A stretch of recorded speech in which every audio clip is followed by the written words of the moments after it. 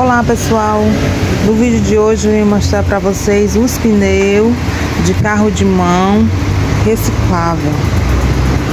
Eu já mostrei uma vez para vocês, mas eu trouxe agora para mostrar mais detalhadozinho.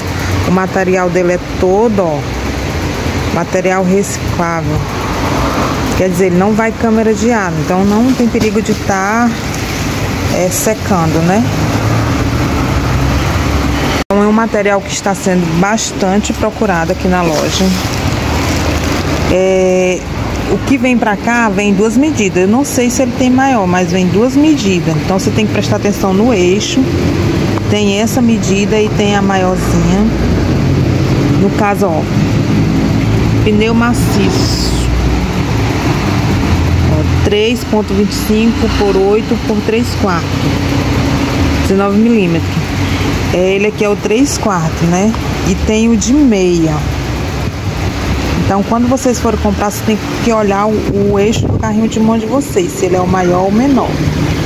Mas é uma opção boa, porque você não vai ficar mais tendo o problema de secar pneu, né?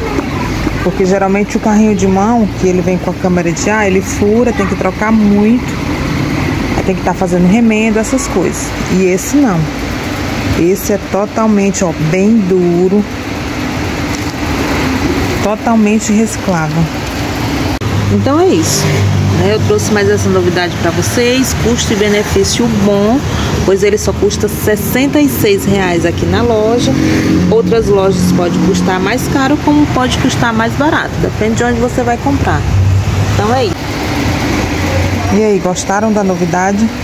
Se vocês gostaram, dê um likezinho de vocês, compartilha, se inscreve no canal, que toda novidade que chegar aqui na loja eu corro e venho mostrar para vocês, ok? Mas não esquece de na hora de comprar olhar o eixo do seu carrinho de mão. Fica a dica e até a próxima, se Deus quiser.